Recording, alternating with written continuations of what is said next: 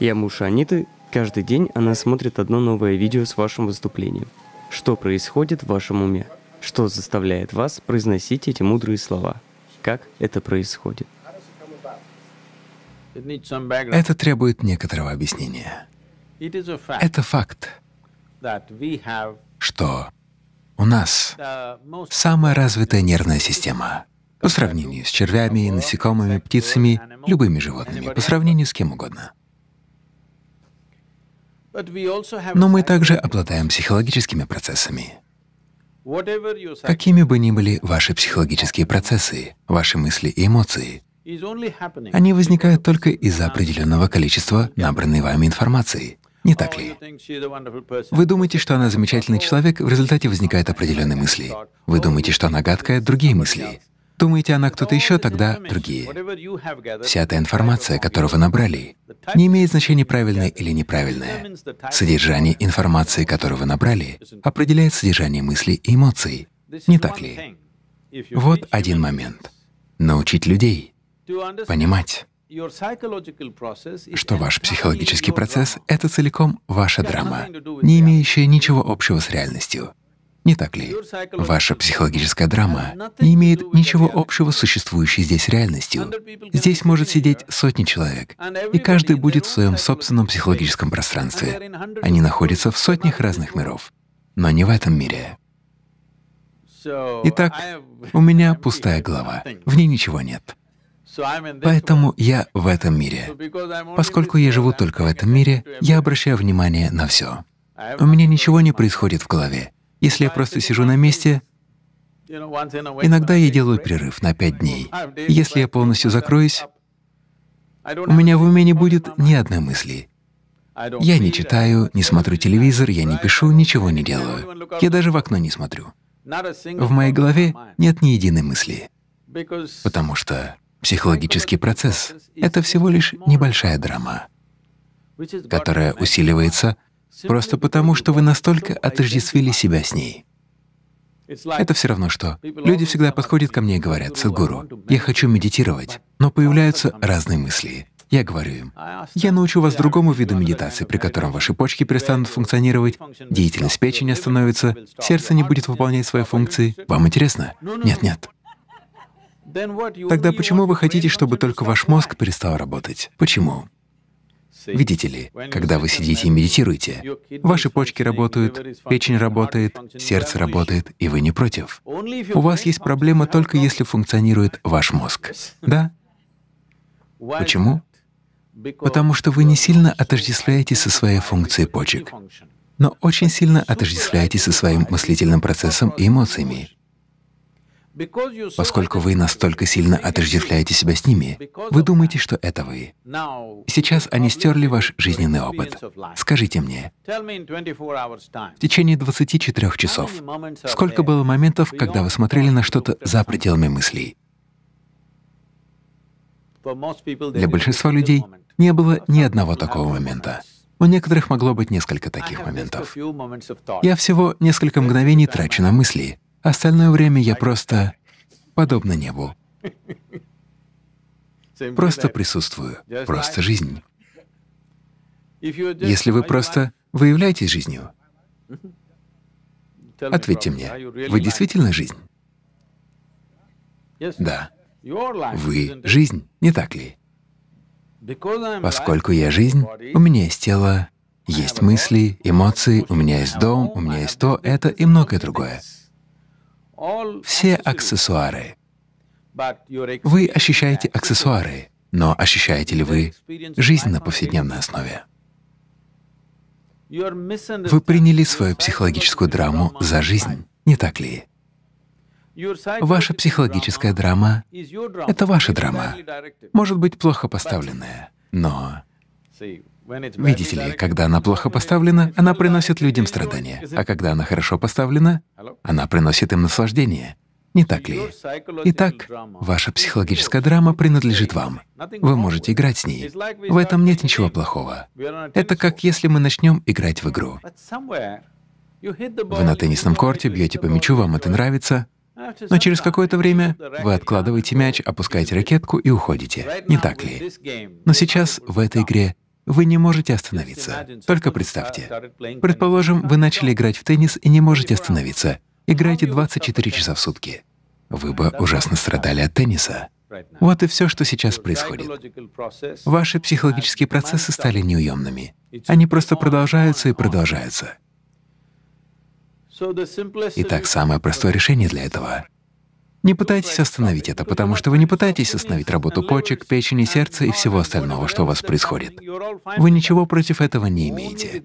Вы противитесь только функции мозга. Из-за вашего отождествления вы ошибочно приняли свою мысль за себя. Не так ли? Какой бы ни была ваша мысль, вы думаете, что это вы. Но ваша мысль исходит из определенной информации, которую вы набрали извне, не так ли? Если я сотру у вас всю память, будут ли у вас мысли? Нет. Они только происходят из той информации, которую вы набрали. То, какую информацию вы набрали, не является на 100% вашим выбором.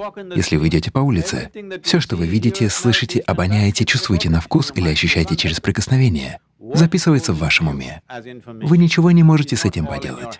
То, что входит в вас как информация, не всегда в ваших руках, не так ли? 90% этого не в ваших руках.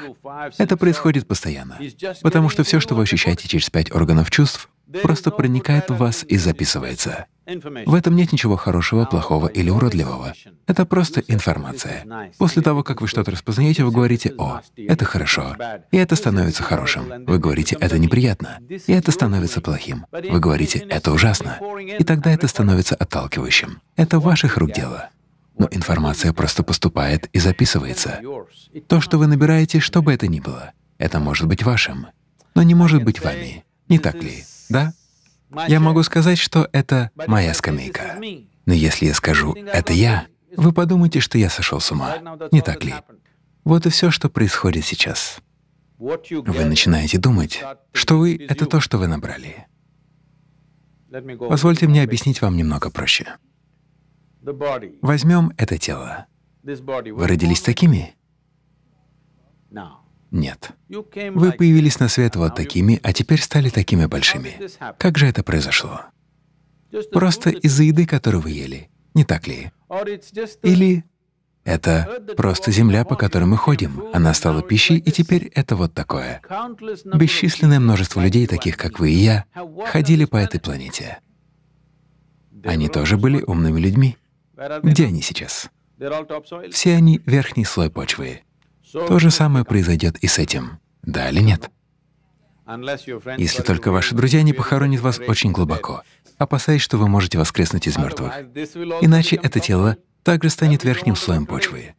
Мы не хотим уходить сегодня, но мы неизбежно уйдем. Не так ли? Итак, это просто почва, которая превратилась в пищу. Мы съели эту пищу и сделали ее своим телом. Правда ли, что это тело накопилось за определенный период времени? Да, это так. То, что вы накопили, может быть вашим, но может ли оно быть вами? Самое большее, что вы можете утверждать, что накопленное ваше. Я не буду спорить с этим прямо сейчас. Придет день, но вы не можете сказать, что это я, не так ли? То, что вы накапливаете, никогда не может быть вами, если это станет для вас живым опытом. Вы четко осознаете, что то, что вы накопили в виде пищи или в форме информации, — это не я. Тогда вы станете похожими на меня. Просто видя жизнь такой, какая она есть, не поддаваясь никакому влиянию, не отождествляясь ни с чем. Просто жизнь. Разве это не фундаментальная правда, что вы — просто жизнь? Вы набрали определенное тело, так что мы назвали вас мужчиной. Затем набрали какие-то вещи в себе, поэтому мы назвали вас так, этак, но по сути вы просто жизнь. И сейчас самое важное, что вы живы. Это является самым главным фактом в вашей жизни. Это так? Но, к сожалению, внимание сосредоточено не на этом. Сегодня то, что я думаю, стало более важным, чем то, что я жив. Не так ли? Да? Моя маленькая эмоция стала более важной, чем то, что прямо сейчас я жив. Посмотрите, сегодня утреннее солнце взошло вовремя, да? Но нет, вы думаете, ну и что в этом такого? Какое-то время назад мы летели на вертолете по штату Теннесси. Был хороший теплый день. Мы открыли двери и летели в открытом вертолете, потому что погода была хорошая. Мы поднялись выше и внезапно натолкнулись на холодный фронт. Все, что произошло, солнце закрылось облаками и стало очень холодно. Настолько холодно, что мы не могли управлять. Руки не были устойчивы на органах управления, поэтому мы решили спуститься вниз. Пока мы спускались, мы обсуждали. Предположим, что завтра утром солнце не взойдет. Что произойдет тогда? Может, через три месяца произойдет это, через шесть месяцев то? Просто рассуждали. Когда я вернулся назад, я немного изучил этот вопрос. Если завтра солнце не взойдет, то через 18 часов все, что вы знаете как жизнь на этой планете, исчезнет. За исключением нескольких микробов глубоко в Земле. Все остальное исчезнет через 18 часов. Только что я сообщил вам невероятную информацию. Сегодня утром солнце встало вовремя. Я хочу услышать соответствующий отклик. Это потрясающе, оно взошло вовремя. И планета крутится вовремя. Вы не думаете, что это хорошо? Никаких аварий в Солнечной системе. Ни одна планета не столкнулась с другой. Все держатся на своих орбитах. Во всей Вселенной ни одной аварии. Все идет замечательно во Вселенной и в большем космосе. Но одна неприятная мысль заползает в вашу голову, и сегодня у вас плохой день. Все во Вселенной идет отлично. Но одна неприятная мысль, и это плохой день, не так ли? Проблема в том, что мы потеряли перспективу относительно того, кто мы есть. В этом космосе эта Солнечная система представляет собой пылинку. Да или нет? Она похожа на пятнышко. Если завтра утром вся Солнечная система испарится, этого никто не заметит. И в этом пятнышке планета Земля — это микропятнышко. И в этом микропятнышке Лос-Анджелес — супермикропятнышко. И в нем вы — большой человек. И это серьезная проблема. Это ваша психологическая драма, преувеличение до такой степени, что вы думаете, что если у вас возникнет одна плохая мысль, всему миру конец.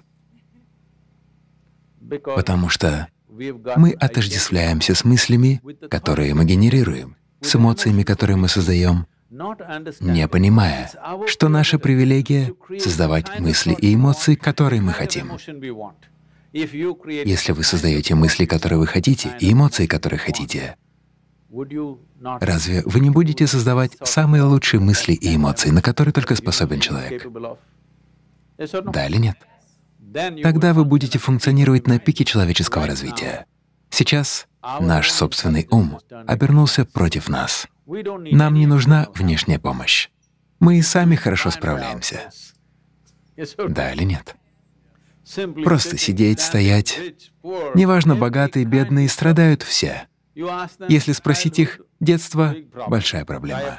Проблема с пеленками. Ходунок — большая проблема. Сплошные проказы.